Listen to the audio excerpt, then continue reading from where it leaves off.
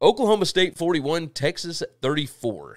And I got to tell you, this was uh, a little bit crazy when you look at the stats, right? You look at the numbers. Uh, he said, What did the odds maker see in Texas to make them a six and a half point favorite versus Oklahoma State? Well, I will tell you this. According to the stats, what Texas is good at, what Oklahoma State is good at, and vice versa, like the strengths versus weaknesses, etc. I mean, my numbers had Texas favored pretty significantly in this game. Uh, we're talking double digits here. But also, you're going on the road. It's Quinn Ewers' first road start. All these different things. There's a reason why it was six and a half. And it opened at one at multiple books and got hit immediately, bounced up to three and a half. You start hearing news about Spencer Sanders maybe being out. That thing starts steaming up. It ended up back down at five and a half. It may have closed at five, somewhere around there. So there was some certain, certainly some buyback on Oklahoma State. Uh, so it wasn't crazy that Texas was a six and a half point favorite at one point, uh, and it did get to seven at multiple spots. And as soon as it hit seven, I mean, there was a ton of buyback from uh, a lot of groups uh, out in Vegas that ended up, you know, moving that thing immediately back down to six and a half. But by kickoff, like I said, it was five and a half, five, somewhere around there. Let's uh let's pull up the stats and take a look here. Um, I'll go on and tell you, like Texas was expected to win this game the majority of the game, as you can see in the win probability charts there. Uh, and I didn't go through and do the the normal, you know, yards per play, third downs, whatever. We'll talk about things as we get to them, but these will be a little quicker breakdowns because I, I want to hit on more games today. Um, Oklahoma State had zero penalties. Texas had 14 for 119 yards. You want to talk about a discrepancy that matters? Uh, yeah, that that's definitely going to matter.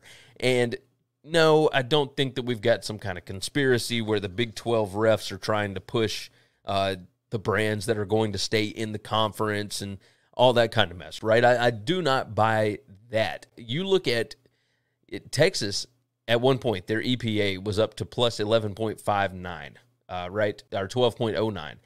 And then it just steadily declined as the day went along. As they ran more plays, they ended up negative 10.39 in total EPA. I mean, it was just ridiculous. And Oklahoma State actually got a little bit better as the day went along. On the screen, this is at gameonpaper.com, by the way. Uh, purple is bad and green is good. And you see a lot of purple for Texas. Uh, there's there's this thing about Quinn Ewers. He is incredibly talented, but he looks like a redshirt freshman at multiple times. And remember, this is not a guy that has played all season.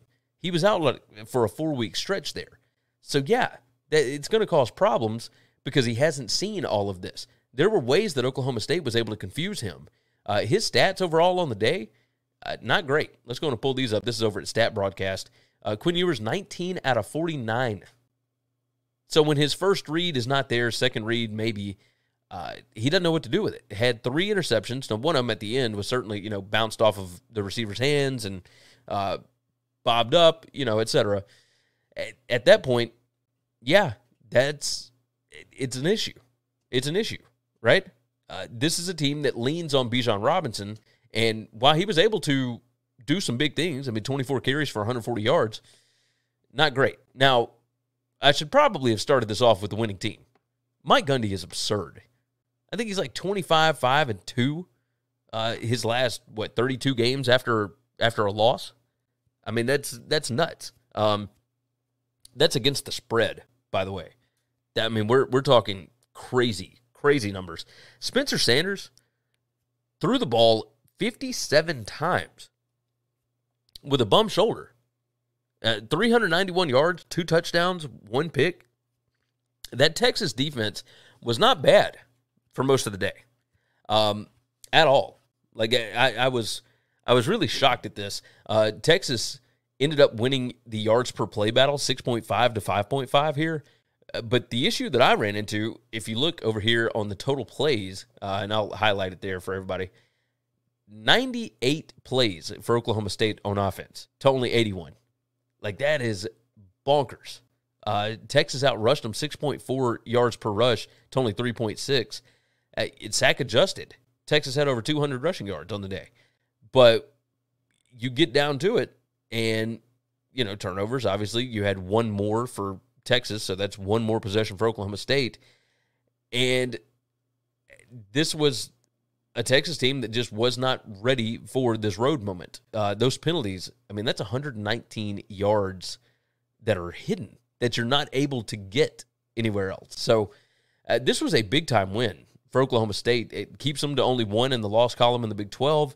Texas now three losses on the season, two in the Big 12. Uh, Texas still has a ton of talent. They are really, really good, but they were not good enough to overcome that, right? Those penalties, the turnovers, it's going to get you beat, especially on the road, every single time. Every time. So, cheers to them, uh, to Oklahoma State getting it done. Uh, Texas feels like they beat themselves a lot of the day. And as you were watching this, I mean, it just it it felt almost inevitable that Oklahoma State was going to find a way to win. And then, of course, that late touchdown pass to Brennan Presley, where they could not get him on the ground. Uh, it it was nuts. It was absolutely nuts. Fantastic ball game, though. Fantastic ball game. Thanks for listening to Winning Cures Everything. Make sure and subscribe on YouTube or your favorite podcast app, and make sure to leave a nice five star review. Follow Gary on Twitter at GaryWCE, and the show is at Winning Cures. Be sure to check out the merch in our web store and share the show.